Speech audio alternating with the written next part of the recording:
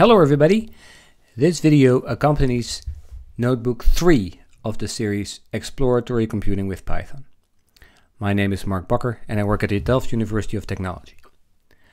Today's topic is loops and if statements. Loops are used for things you have to do more than once. For example, if you want to do something five times, you type for i in range. 5 and then let's say print the val the value of i is i. And I hit shift enter. Then you see what happens. It loops five times. And the first time you loop through this i is 0 the second time you loop through it i is 1 then 2 then 3 then 4 you've done it a total of five times and it stops so the question maybe is, what is this range 5 statement? Let's try that. Range 5. Ah, range 5 is simply a list of 5 numbers starting at 0 and stopping before you reach 5. It's actually the list equivalent of arange. If you do arange, oh, we don't get the right thing. Why do we not get it? Well, we probably should import numpy. So let's do that import numpy. Can type today numpy s np np.arange 5 is an array with five numbers while just range gives us five numbers integers um, that is a list. So I could have replaced above statement with that list. Let's try that for i in, and then we just say 0, 1, 2, 3, 4, get the same result as we did above. So why is it nice? Well, we can use any value for that list we like. So it doesn't have to be 0, 1, 2, 3, 4. It could be 0, well, not even 0, 8, 12, 102, 3, and minus 40 and it would also work. In fact, it doesn't even have to be numbers. Number 12 could just be hello. Number 102 be, could be 102 square. That's probably a big number. This one could be a function, the function np.sign. And if you run this, then you nicely see the first time you loop through this, it picks the first item in the list, which is number 8. Then it picks the word hello. Then it picks 102 squared, which turns out to be 10,404. The fourth time it loops through it, it has this function which has this signature. And the fifth time, it's this minus 40. Pay attention to the syntax of a for loop. When I do for i in range 5, then I add a colon. The colon indicates that this is where the loop starts.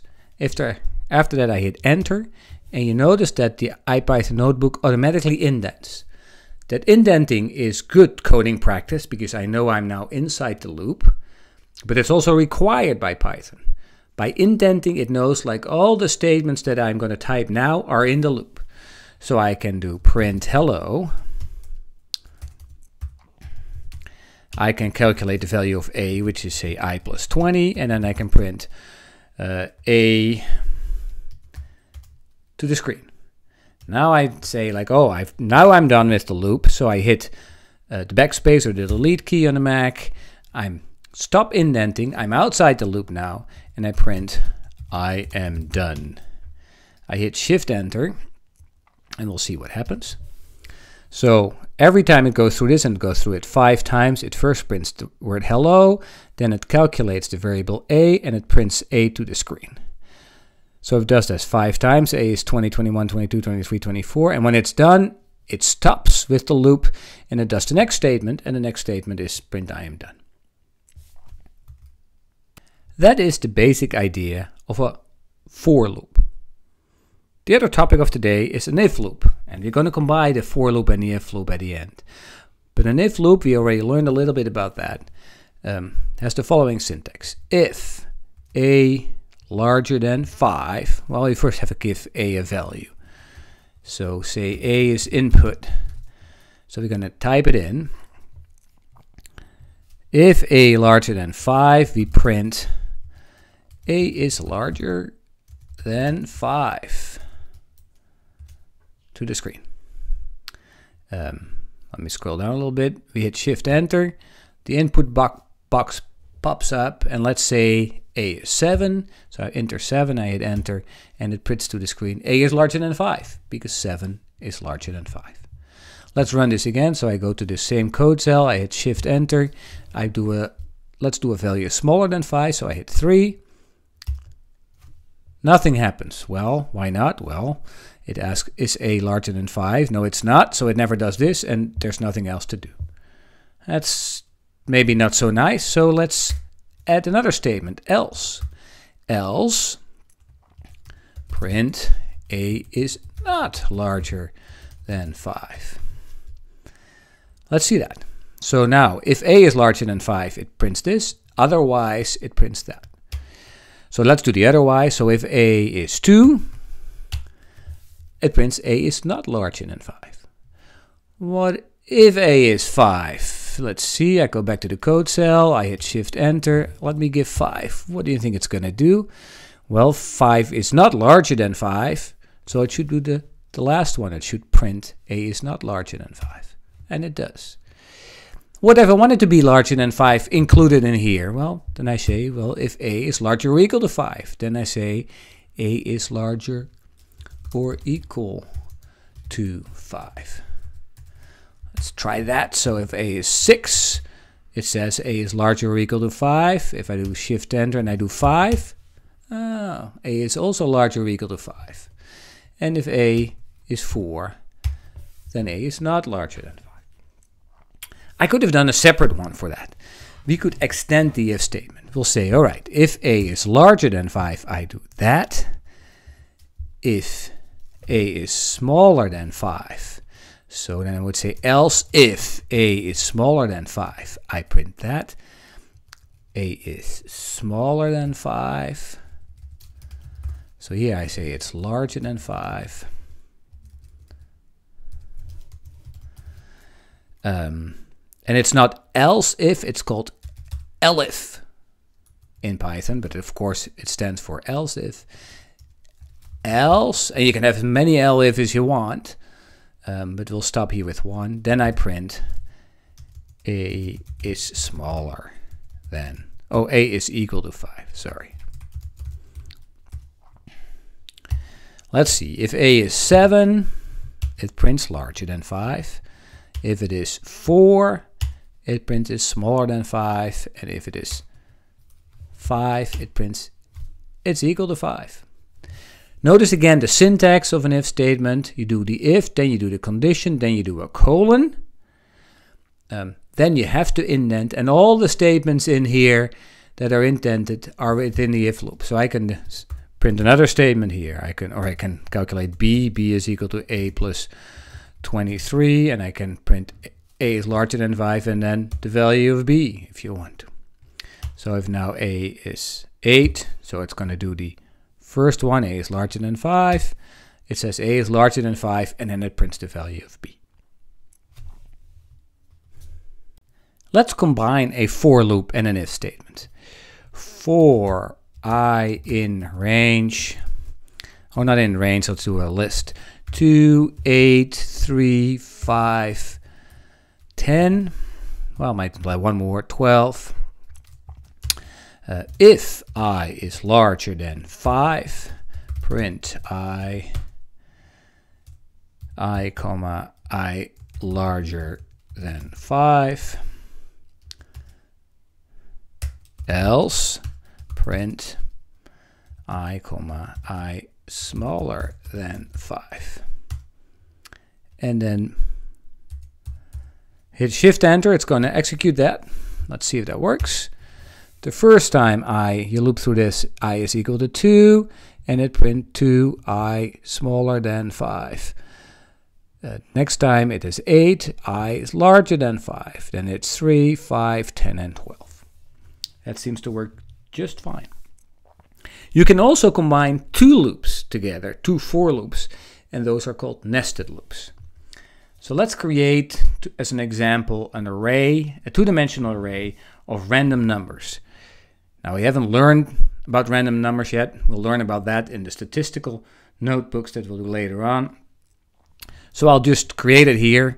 Uh, the NumPy package has a, a um, function called uh, package called random, a subpackage, and that package has a function called randint that will generate random integers um, you see here, you give it a low, you give it a high, the high is not included, it says here, exclusive, and a size. So say we go from 0 to 10, well, let's go to 11, so 10 is included, and we want to have four rows uh, and eight numbers. Shift enter, there you see, we get an array back with random integers between 0 and 10, or between 0 and 11, 10 is included four rows of eight columns. And we're going to store that in a variable. Let's call it x. And it'll print x, so we'll see what it is.